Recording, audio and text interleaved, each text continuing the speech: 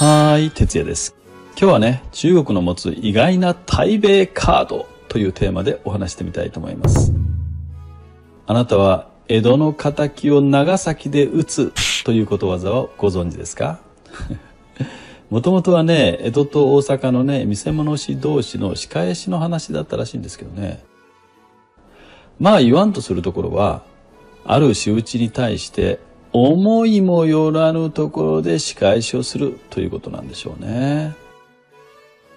実はね、こんなことわざを彷彿とさせるようなことがね、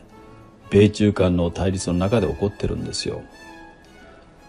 米中冷戦のね、難しいところは、かつての米ソ冷戦と異なり、すでにね、経済的に相互依存関係がね、根深く緊密に出来上がっている点にあるんですよね。米ソ冷戦の時のようにね、お互いに経済的な結びつきがない場合にはね、まあ、生じなかったような問題が起きてしまうんですよね。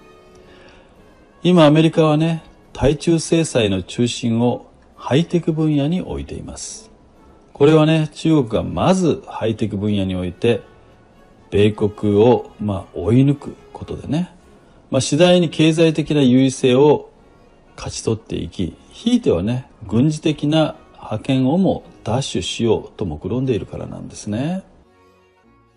中国がアメリカを凌駕しそうな分野の一つに 5G があります。今年2020年は 5G 元年と言われてね、世界各国がしのぎを削っているんですけどね、その先頭に立っているのが中国のファーウェイなんですね。ファーウェイは民間企業を装ってますけどね、まあ実態はね、中国共産党の人民解放軍と一体の組織との見方がありね、ファーウェイを通じて個人情報はおろかね、えー、国家の機密情報まで抜き取られる可能性が指摘されてきましたね。もともとこの創業者がね、えー、人民解放軍の出身なんですよね。えー、ファーウェイのスマホをね、分解しても、スパイウェアなどを発見されなかったよっていう人もいるんですけどね。まあ、中国にはね、国家情報法という法律があってね、中国政府の求めがあれば、それに従いいつでも知り得た情報をすべて中国政府に提供しなければならないということになってるんでね。まああの、スパイウェアのあるなしなんて関係ないんですよ。提供しなければ罰せられね、えー、幹部はぶち込まれるわけですからね。だからいくらね、あのマニュアルとか契約書とかね、そんなところに、えー、個人情報を守りますって書いてあっても、ね、えー、その国家情報法というものに基づいて、情報出せって言われたら、はいって出さなきゃいけないんですよ。ね。まあね、そのためファーウェイがね、グローバルスタンダードになれば、米国をはじめとしたいわゆる西側先進国がね、中国共産党の軍門に下る可能性が高くなってくるんですね。だから、米国は今ね、ファーウェイ潰しに躍起になってるわけですよ。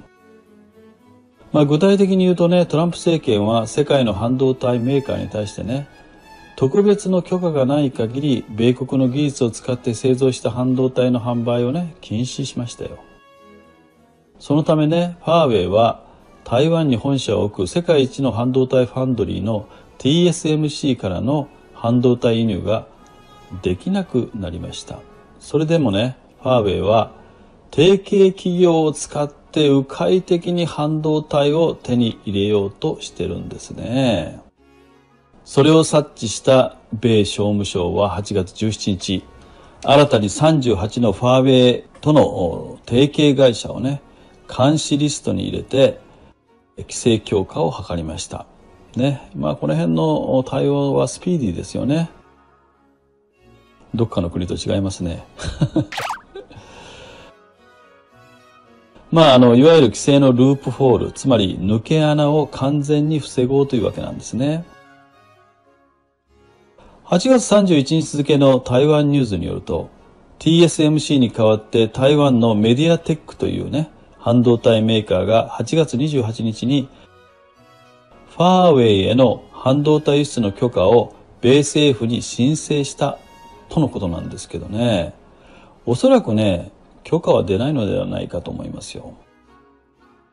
まあそれほどね、米国はファーウェイをはじめ、中国ハイテク企業のこれ以上の台頭は許さないとのね、姿勢を貫いています。この断固たる姿勢はね、まあ徐々に効いてきていてね、えー、ファーウェイは来年あたりにはね、まあ存亡の危機を迎えるかもしれません。まああの、潰れないにしてもね、まあその活動範囲というのがね、非常に狭くなってくるというふうに考えられます。しかしね、中国もね、ただ手をこまねいているわけではないんですよね。実は中国には意外な対米カードがあったんです。それが何かわかりますか？実はね、医薬品成分なんですよ。8月28日付の台湾ニュースの記事によれば、中国清華大学の経済経営学院のエコノミストであり、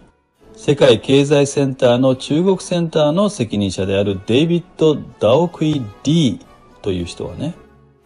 ファーウェイのような企業に対する米国の制裁に対応して、中国側も強く反撃できるぞと豪語したんですよね。えー、リー氏によるとね、米国の製薬会社が使用する必須成分の90%以上が、すごいですね、90%以上が中国からのものであり、米国の医薬品は特に抗生物質や糖尿病、HIV、エイズ、えー、鎮痛剤など、中国製の成分に大きく依存していると主張しています。この話を聞いてね、ええー、と思う人がいるかもしれませんがね、これは残念ながら事実なんですよ。この点に関してはね、日本も含めて大なり小なり同じような状況ではないでしょうかね。つまり医薬品成分に関しては、米国等の製薬メーカーは、えー、中国なしには立ち行かない構造になっているわけですよね。もちろん、トランプ政権はこのことは百も承知。なので、医薬品成分の自給体制を整える方向で対策を、まあ、取り始めているんですけどね。まあ、一朝一夕にはいかないんですよ。長期的にはね、えー、どうなるかわかりませんけどね、少なくともね、中短期的には中国による医薬品成分の禁輸措置がね、えー、米製薬メーカーにね、甚大な影響を与えることは否定できないでしょう。まあこれってね、まさに冒頭申し上げたような、江戸の仇を長崎で撃つという話じゃないですか？まあただしね、中国がこのような強硬措置を取ればね、米国はさらなる強力な対中カードを切る可能性もあるんですよ。それは何かというと、金融カードなんですね。例えば、米国は世界銀行間金融通信協会、いわゆる SWIFT って言われるものがありますけどね、その SWIFT システムへのアクセスを